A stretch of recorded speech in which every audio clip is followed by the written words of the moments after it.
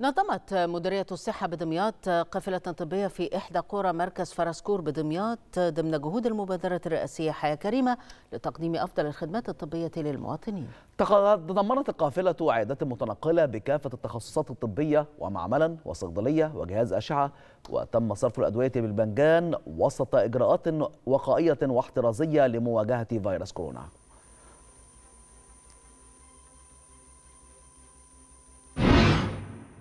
قافلة تشمل جميع التخصصات.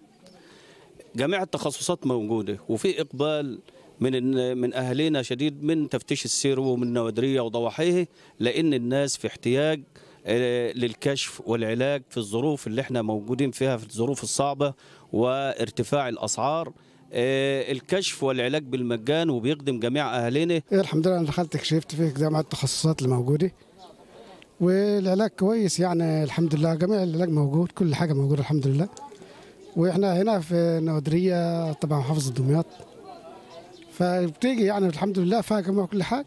كل حاجة موجودة أشعاعات وتحاليل وكل حاجة موجوده